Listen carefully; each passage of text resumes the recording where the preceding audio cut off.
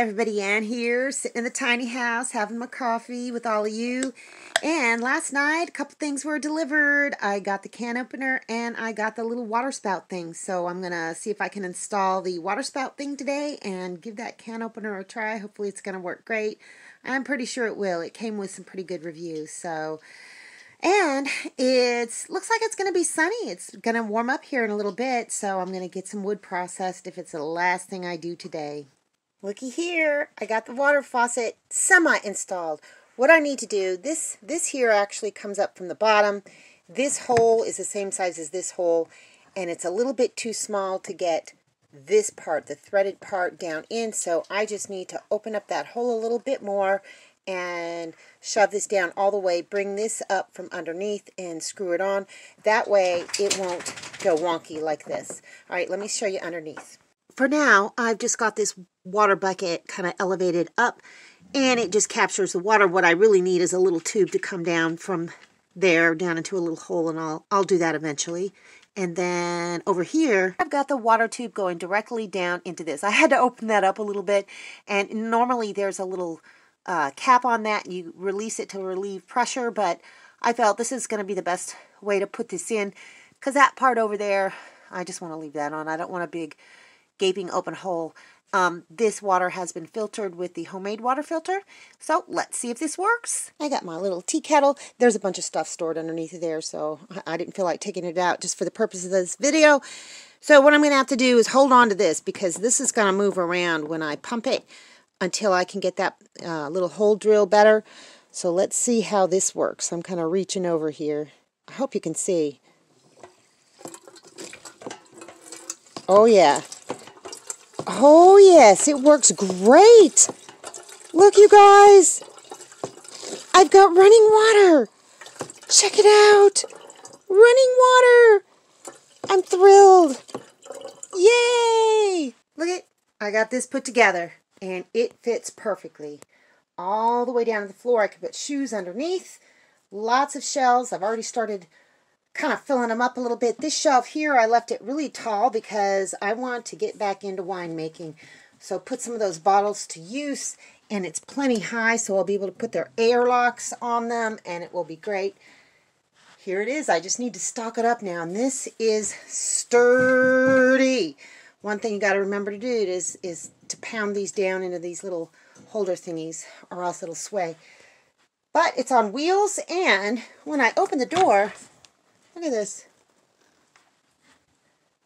I can open it all the way and it's perfect.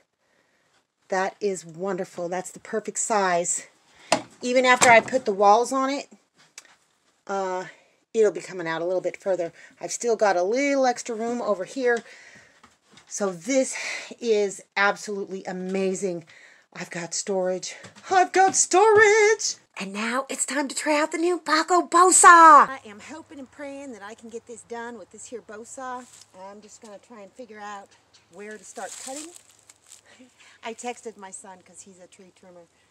And uh, I was going to start at the top. He says to start a little bit further down. So I'm just going to figure this out and see if I can do it.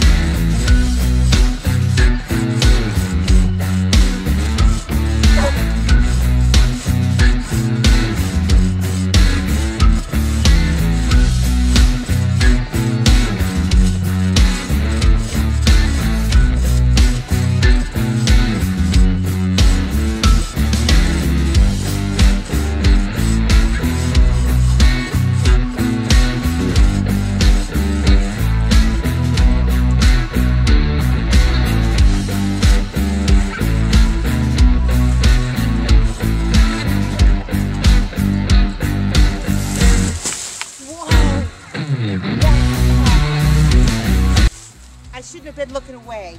But this, this was practically effortless. All right, let's see what else I can do with it. I think what I'm gonna do is uh, try and saw this into little earth pieces so I can just toss them over there and put them in the wagon, and take them to where I'm gonna process the rest of it. All right, let's see if I can do it.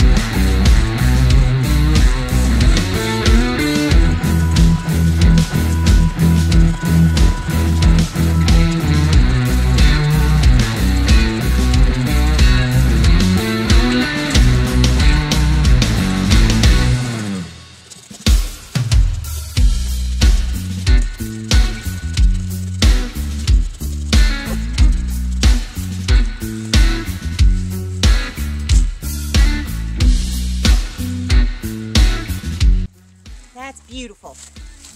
Check it, you guys. Oh, look at that pretty wood. Look at it. All right, I'm gonna get the rest of this cut up. I'm gonna get all of it cut up today.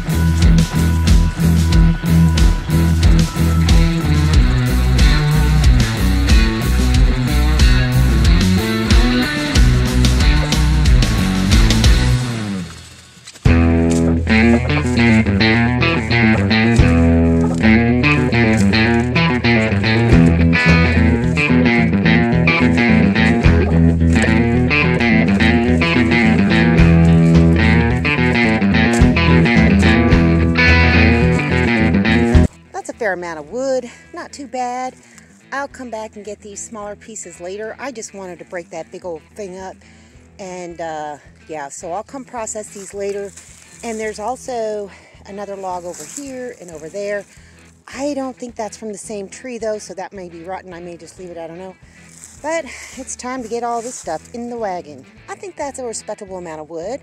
I'm just gonna take it over to the tree stump and kind of break it down further and get to use my axe. And yeah, I'll use the bow saw more on some of these longer ones so that they can fit into my wood burning stove. So let's do it. Look at you guys. It's got a smiley face on it.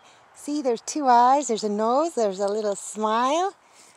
It's almost too bad that I'm gonna have to hack this thing to bits. Let's see if I can film and do it at the same time.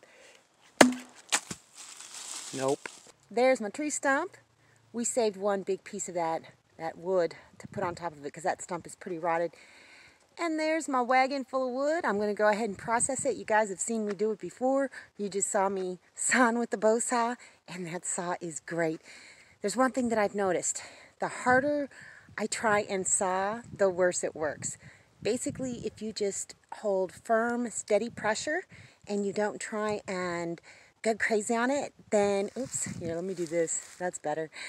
Um, then it's going to work out better for you because um, you could see you could see how I was wobbling and whatnot um, when I was trying to put too much pressure on it.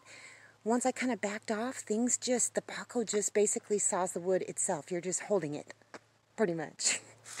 Anyhow, I love that. So I'm going to go ahead and finish the rest of this wood and then I'm going to go have a cold beverage and kick back and be so happy because I know that I can process wood.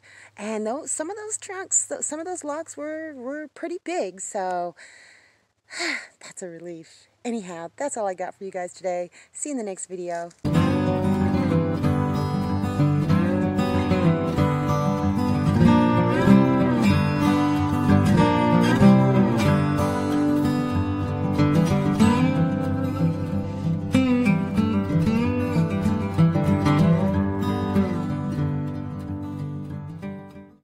Thanks for watching, everybody. I hope you enjoyed the video. Make sure you like, subscribe, hit the bell, and y'all have a good one.